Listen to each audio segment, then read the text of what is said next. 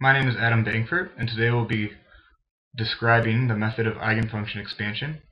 Um, this is a advanced differential equation topic, and uh, because of that, I'm assuming that there's some basic knowledge of ordinary differential equations. Um, most importantly, the understanding of eigenvalues and their corresponding eigenfunctions is very important in this. Um, the eigenfunction will be used throughout the talk, um, so some background background understanding is very important for this video. For this, we'll be talking about non-homogeneous PDEs, uh, partial differential equations.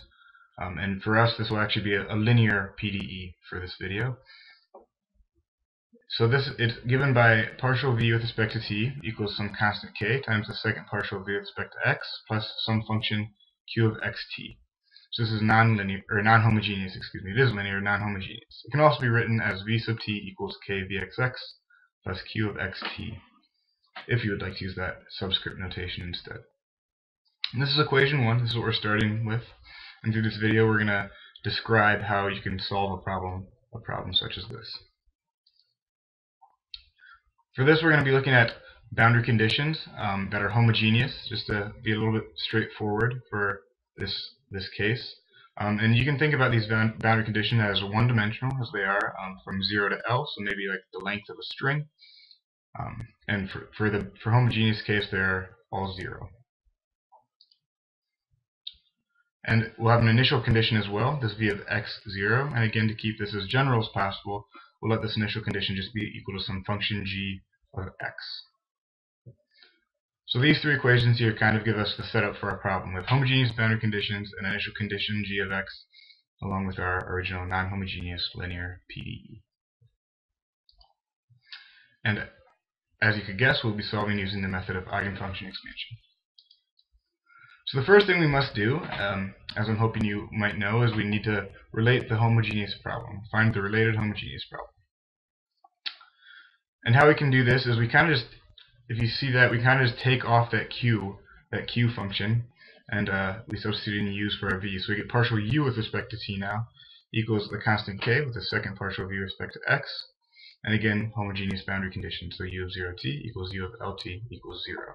So again, looks quite similar to that first equation we started with, without that uh, function q at the end. This is the big, biggest change. And now we need to find our eigenvalues and corresponding eigenfunctions for this. And what we do is, as you might know, is to solve these, you they have to satisfy this equation phi double prime plus lambda phi equals 0, where phi of 0 equals phi of L, which equals 0. So again, the homogeneousness of uh, those zeros. And again, this is what we use to solve for the eigenfunctions. Um, so for our case, actually here, we, we could know these. And we know lambda n would be n pi over L squared, where n equals 1, 2, 3, and so on. And this will give us an eigenfunction uh, corresponding to those eigenvalues of phi n of x equals sine of n pi x over L. And that was found again um, because they satisfy that equation 5.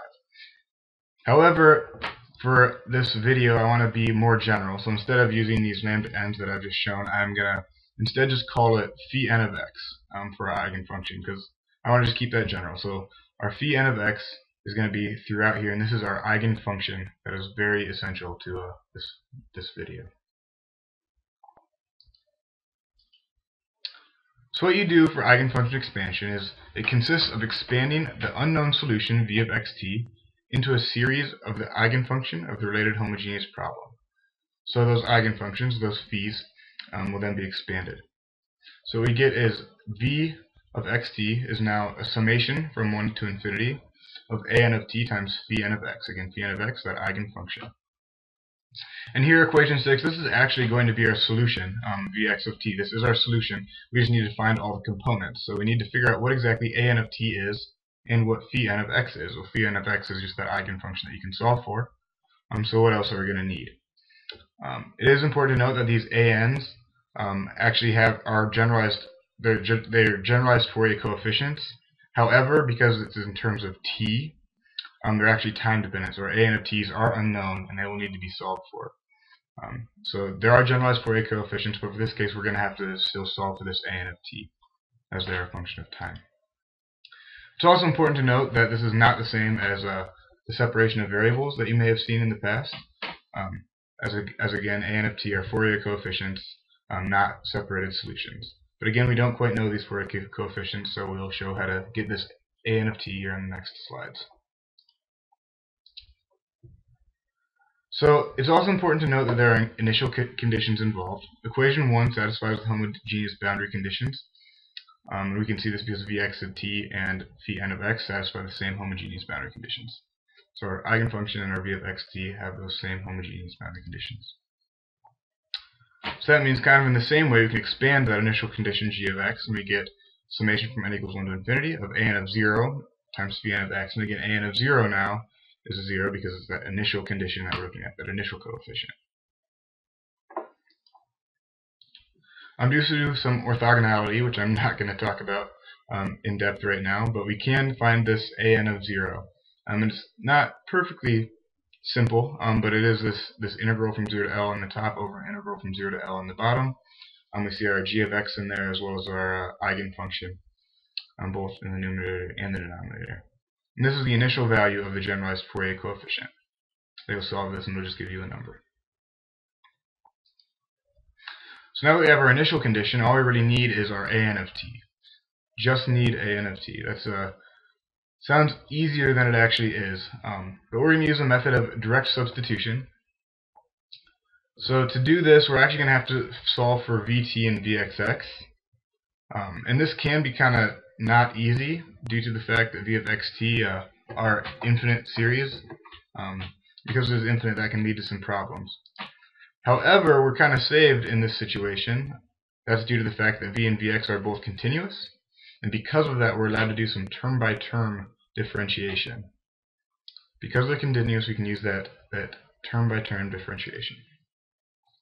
And doing this, we can now solve for this, this v and vx, we get um, the, the partial v with respect to t equal the summation from 1 to infinity of dAn of t over dt times our eigenfunction. And then we also get the partial square of v with respect to x is summation from n equals 1 times an of t times d squared phi n of x over dx squared. And then due to do some uh, algebraic, algebraic manipulation, we can also show that this is equal to the that, that uh, equation there on the right, the negative um, summation from 1 to infinity of a n of t times phi n times phi n of x times lambda n, excuse me. So these uh, two equations here, this partial v with respect to t and this partial squared v with respect to x, are, are going to be important. And what we do is we can substitute into equation 1, and we can do this because phi n of x satisfies uh, this d squared phi n over dx squared plus phi n times lambda n. Um, because that that is satisfied, we're allowed to substitute into equation 1. And plugging in those equations that we just had on the last slide, um, we get this extended equation, equation 8 here, which is our integral from n equals, or not our integral, excuse me, our summation from n equals 1 to infinity times dan over dt plus lambda n k a n times phi n of x equals this function q of xt equation 8 right here. So that is again finding from uh, that partial v with respect to and that partial squared v with respect to t. And this is uh, that method of substitution. However, we still don't quite have our a n of t, which is really the, the last thing we have to get still, just that a n of t. But the left side of equation 8 is the generalized Fourier series for our function q of xt. So because of that, we're allowed to obtain a first order differential equation for a n of t, leading to equation 9 as written there. Again, it's pretty messy. Um, we have this dan dt plus lambda n k a n equals this, this crazy fraction with integrals on the top and the bottom um, as written there. However, luckily this will end up reducing when you actually take those integrals with uh, our actual our actual function, our actual eigenfunction and this will come out to just some qn of t. As we see there that qn of t is a known function of time, namely it's the Fourier, Fourier coefficient of q of xt.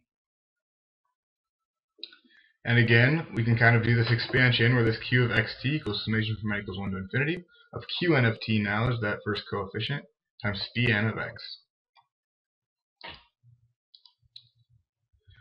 As you might guess, equation 9 also requires an initial condition. Um, and luckily we have an of 0, which equals the generalized Fourier coefficient for the initial condition. Um, and that came back from equation 7, so we actually already have that initial condition that we need. Equation 9 is also first order non-homogeneous.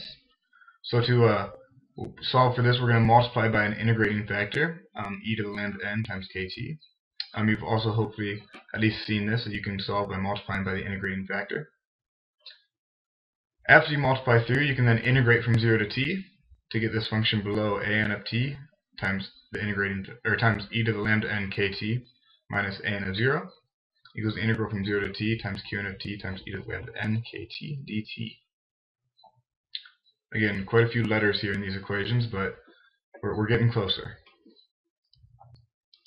Now we can finally do some uh, arithmetic with letters there to solve for a n of t, um, which is what we, we've been wanting for quite a few minutes now.